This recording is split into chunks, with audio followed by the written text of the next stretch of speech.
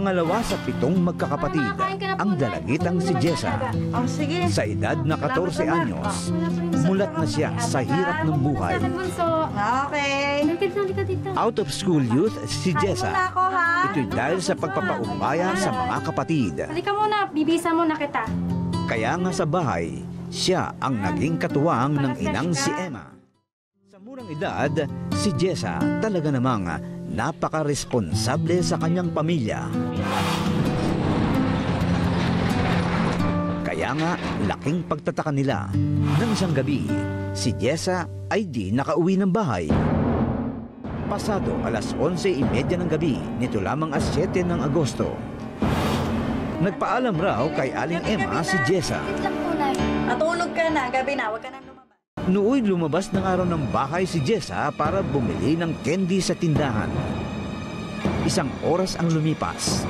Hindi pa raw bumabalik si Jessa. Sinubukan pa raw ni Emma na hintayin ang anak. Pero nakaramdam na raw siya ng matinding antok. Kinabukasan, maaga raw na nagising si Aling Emma. Pero nooy, napansin nitong hindi pa rin umuwi ang anak. Dahil dito, pinuntahan raw ni Aling Emma ang ilang kaibigan ni Jessa. Si Jessa? Gayunman, Ay, hindi po, tita. Bakit po? Ah, hindi ba natulog dito sa inyo? Ay, wala po. sa puntong iyon, nagsimula nang mag-alala si Aling Emma. Kaya nga tumawag na rin siya sa panganay niyang si Mutya. Andiyan ba si Jessa? Wala, ma. Bakit? Eh, kagabi pa hindi umuwi. Si Aling Emma at Mutya nagtulong na sa paghanap kay Jessa. Dalawang araw pang lumipas. Si Jessa, hindi pa rin nila mahanap. Ayan po, ayan. Naku, hindi ko po nakita eh. Nooy patuloy na naging misteryo ang pagkawala ni Jessa. Anim na araw ang lumipas nung madaling araw ng 13 ng Agosto 2018. Bumuhos ang malakas na ulan. Ang creek na ito sa Marcelo Compound, Barangay Dampol, Pulilan, Bulacan, umapaw. Na, ano nangyari dyan? Sino ba yan? Umaga, nagkagulo ang mga residente sa lugar. Isang bangkay kasi ang nakitang palutang-lutang sa creek. Aling Emma! Aling Emma! Aling Emma! Ang insidenteng ito, agad namang nakarating sa ginang na si Aling Emma. May nakita akong bangkay doon sa Marcelo. Sa puntong iyon, magkasamang nagtungo sa lugar si Aling Emma at ang panganay na si Mutia. Pagdating doon, agad raw tumambad sa kanila ang bangkay na nakalutang pa sa creek. Nang mga sandaling iyon, bahagya raw nakahinga ng maluwag ang mag-ina. Kasi nga, malayo raw sa itsura ni Jessa ang nakitang bangkay. Samantala, rumisponde na rin sa lugar ang grupo ni SPO2 Michael Alfaro, hepe ng Investigation Unit ng Pulilan, Bulacan, PNP. Kasunod nito, dumating din sa lugar ang Malolos, Bulacan, Scene of Crime Operation. Matapos ang inisyal na pagsisiyasat, minabuti na nilang iahon ang bangkay mula sa creek. Si Jessa yan, hindi si Jessa yan. Jessa yun. Noon di, buong buo nang nakita ni Aling Emma at Nupya ang bangkay. Dahil dito, positibong kinilala na ang bangkay ay ang 14 anyos na si Jessa.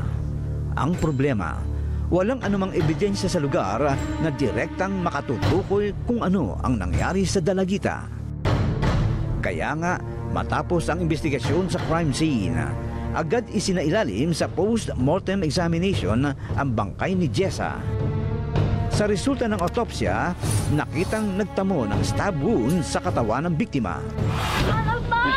Ito ang direktang ikinamatay ni Jessa. Sa inisyal na investigasyon ng Pulilan, Bulacan Police, natukoy na ilang gamit ng biktima ang nawawala, partikular ang cellphone nito. Dagdag pa ni na Aling Emma, bago raw umalis ng bahay ang dalagita, nakita nila itong nagchat-chat.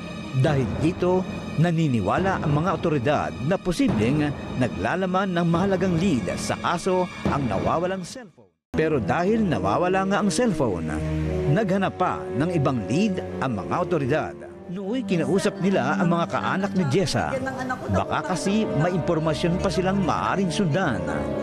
Ayon kay Mutya, isang lalaki ang kanilang pinaghihinalaan at ito ay ang dating naging karelasyon ni Jessa. Sa puntong yun, tinatawag natin na karelasyon nitong si Angel. Pero tulad nga ng nilalaman ng chat message nooy, tinanggihan niya raw ang pag-aanyaya ni Jessa. Dahil dito, wala silang nakitang direktang ebidensyang magdidiin sa dating kasintahan. Sa investigasyon ng mga pulis, bago mag-ating gabi noong August 7, 2018, si Jessa bumili ng candy sa tindahan. Jessa! Sa kabilang bahagi ng kalsada, dalawang lalaki umano ang dumating. Tumawid si Jessa at nooy tuluyang sumama sa dalawang lalaki. Iyon na nga ang huling pagkakataong natagpuang buhay si Jessa. Dahil makalipas nga ang anim na araw, ang bangkay ng dalagita natagpo ang lumulutang sa isang creek sa lugar. Ngayon, ang dalawang lalaki ang naging suspect sa krimen. Ang cellphone ni Jessa natukoy na isinanla sa isang babae. Agad naman dinala ng mga otoridad sa mga kaanak ni Jessa ang cellphone. Dahil dito, ang nagsanla ng cellphone na si alias Liit naging persons of interest sa kaso. Sa background check ng mga pulis, itong si alias Liit ay kalugar lamang ni na Jessa. Matagal na rin itong kakilala ng naturang biktima. Agad na dinala si alias Liit sa presinto Bakit mo to sinanla? Nung ipakita po natin itong cellphone, umamin agad siya. Sino-sino ang kasama mo? Sa puntong yun, inalam na rin ng mga pulis kung sino pa ang sangkot sa krimen. Nooy itinuro naman itong si alias Liit ang umanoy kasabot niya sa panggagahasa at pagpatay kay Jessa. Tinuro niya agad itong si Melvin Alcobar. Ito po eh taga ibang barangay, taga poblasyon po. Agad naman natin pinuntahan din nung August 15. Papasok pa lang po dun sa ka- kanila, uh, naispatan na agad ng ating mga operatiba. Nahuli din natin itong ah, second suspect. Si alias talagang umamin. Ito pong suspect number 2, si Melvin Altubar. Hindi ko umamin ito nung una. Nagkaroon ng pagkakataon ang inyong ABS-CBN News team na makausap ang suspect na si Melvin. Nooy, inamin niya ang krimen. Sobrang po kami sa lasing. Kaya po namin nagawa yan. Sinakal po nung kasama ko. Kaya po, ginahasa po. Nakapatay po kami ng tao. Pero nang personal ko siyang makausap, iba naman ang kanyang pahayag. Itinatanggi na niya na may kinalaman siya sa panggagahasa at pagpatay kay Jessa. Gayunman, si alias Liit na sinasabing menor de edad, patuloy na iginigiit na si Melvin ang promotor sa nangyaring krimen. Ayon sa kanya, pasado alas 10 ng gabi, nagiinuman raw sila noon ni Melvin Altobar.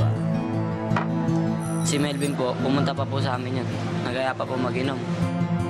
Sa gitna ng inuman, nooy, nakachat niya raw si Jessa. Sakto po si po, naka-online yun. Tapos nung nakaraan pa po ako na ayaw minom, sinama ko po mag-inom. Jessa, ka na! Nila si Jessa malapit sa tindahan kung saan ito bumili ng candy. Kala ko po, inom lang po talaga. Dinala ko po sa may bahay namin. Nag-inom po kami. Kami pong tatlo. Si Melvin po, tapos ako. Tapos yung babae. Ang problema, sa dami na ng nainom ni Melvin, naging makulit na raw ito. Maya-maya pa ay mas naging agresibo raw si Melvin. Nang mawalan ito ng malay, doon na raw nila sinimulang pagsamantalahan ng biktima. Pagkatapos ng uwi, sinaksak raw ni Melvin si Jessa. Matapos ang investigasyon, si Melvin Altobar at si alias Liit parehong haharap sa mabigat na kaso. Rape with homicide po yung ah, kanilang ah, kinakaharap na kaso. Plus, yun pong kinuha nila yung cellphone, sinanla, mayroon pa pong robbery. Ang mga kaanak ni Jessa, ganap na hustisya ang ngayon isinisigaw. Kapamilya, huwag pong kalimutang mag-subscribe sa ABS-CBN News Channel. I-click lamang ang button na ito. Na-miss mo ba ang mga palabas ng Soko nung nakarang Sabado? Pwes, pwede mo itong mapanood dito. Narito ang kwentong krimeng tampok ng inyong ABS-CBN Soko.